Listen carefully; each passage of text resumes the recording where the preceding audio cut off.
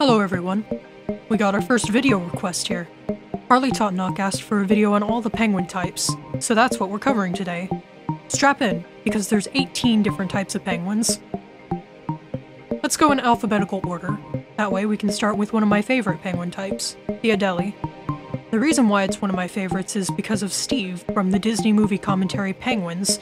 He's an Adelie. I recommend watching Steve. He's great. Anyway, the Adelies are relatively small, measuring up to about 27 inches. Their relatively flat heads help distinguish them. They live on Antarctica and on many small coastal islands surrounding the place. In their dives to find food, they can travel as many as 185 miles in a round trip. Imagine trying to swim that far as a tiny creature. Although close to the Adelie in height at about 24 to 27 inches, the African penguin has a very different feather pattern. Their dark dots splayed on their white chests help individualize each penguin, as these markings are about as different among each penguin as fingerprints are for each human. They all have a bare patch above their eyes that holds blood there to cool down the penguin, helpful for coping with the hot temperatures of South Africa.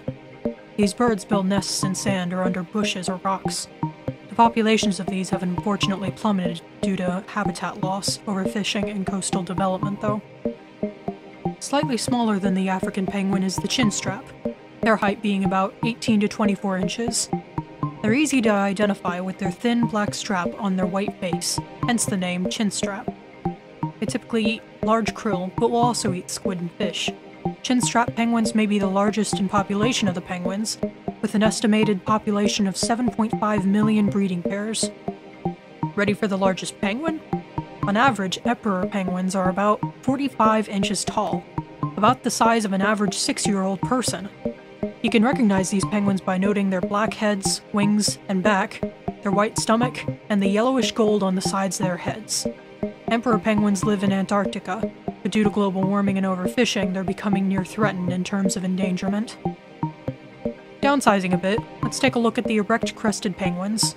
They're typically about 25 inches tall, and you can identify them through the raised yellow crests on their heads and their unique beaks. They're found along the coasts of New Zealand, Australia, and the Antipodes and the Bounty Islands. They're classified as endangered, with their population diminishing due to uncertain causes. Another crested penguin is the Fiordland crested penguin, you can recognize them from their yellow plumes on their head, plus they're the only crested penguin to have white stripes on their cheeks. They live in nests under bushes, between tree roots, or in holes, but they spend most of their lives at sea. Sometimes even barnacles grow on their tails since they've been at sea for a long time at times. The Galapagos penguin has bare patches of skin around their eyes and beneath the bill, like other penguins in temperate places. They're one of the smaller temperate penguins, though, being the second smallest penguin type at about 19 inches in height.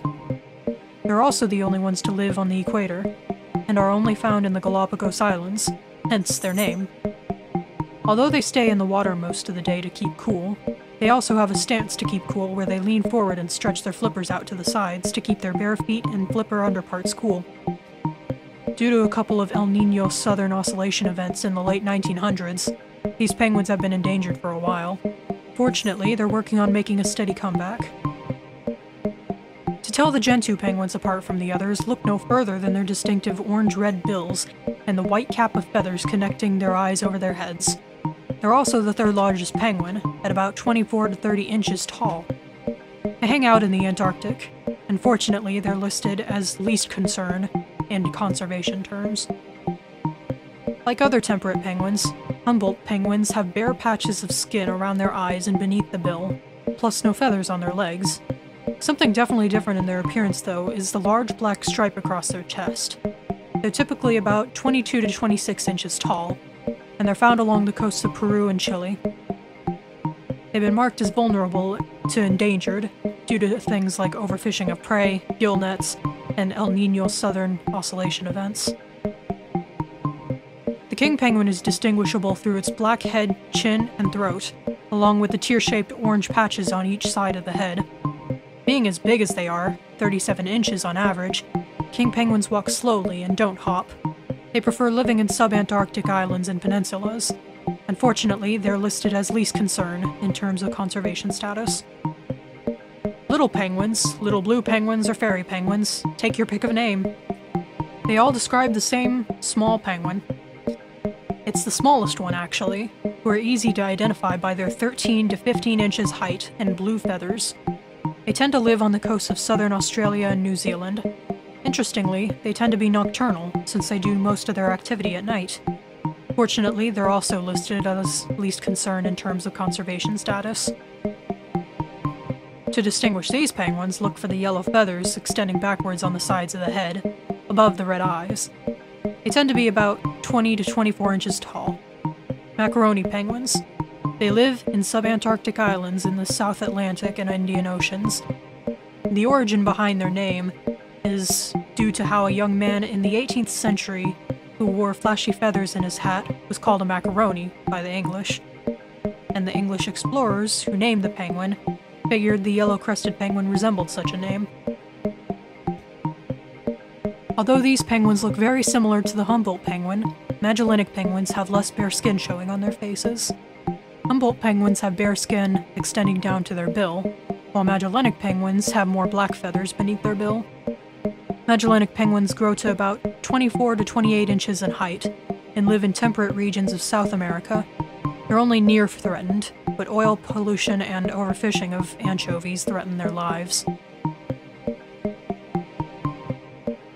Rockhoppers are the smallest of the crested penguins, at a height of about 21 inches. Northern rockhoppers have red eyes and seriously spiked crests of yellow and black, but mostly black, with the thin yellow spiking partially downward. They live in subantarctic islands, where they're listed as vulnerable. Instead of waddling, they tend to hop with both feet from rock to rock, hence their name, rockhopper. Royal penguins are the largest of the crested penguins, at a height of 26 to 30 inches. They have yellow and black mixed into their crests, which meet at their bill.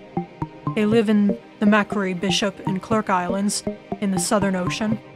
They were exploited for oil back in the early 1900s, but the population has stabilized since then. Snares Island penguins have a thin crest of yellow plumes extending past their eyes. The way to tell them apart from other crested penguins is by looking for the bare patch of skin beneath their bill. Other crested penguins don't have that. They're found in the Snares Islands, and due to limited breeding areas, they're listed as vulnerable in terms of conservation. Southern rockhoppers are very similar to northern rockhopper penguins, only they have more yellow in their crests than black.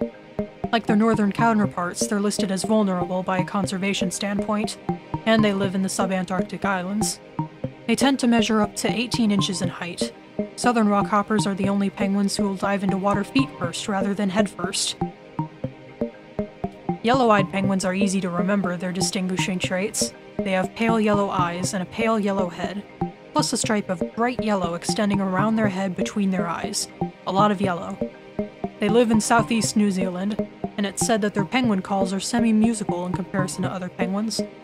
Yellow-eyed penguins are listed as endangered due to human disturbances and new predators like cats and ferrets. All penguin species are protected from hunting and egg collecting, but there are still plenty of dangers to them.